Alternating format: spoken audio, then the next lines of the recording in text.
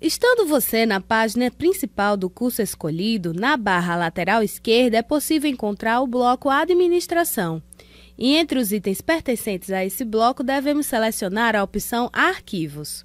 Uma nova página é carregada com uma tabela de arquivos dividida em nome, tamanho, modificado e ação. Mais abaixo podemos ver algumas opções que vamos explorar nas próximas videoaulas. Nesta aula aprenderemos como criar pastas para guardar arquivos. Para criarmos uma nova pasta, devemos clicar no botão Criar um diretório, logo abaixo na tabela de arquivos. Ao selecionar esta opção, uma nova página é carregada com um text box para entrada do nome no diretório pasta. Se você não possui pastas ou se encontra no diretório raiz, a mensagem acima do text box deverá ser Criar diretório em. Devemos agora digitar o nome da pasta que queremos criar dentro do text box e clicar no botão Criar para o diretório ser criado.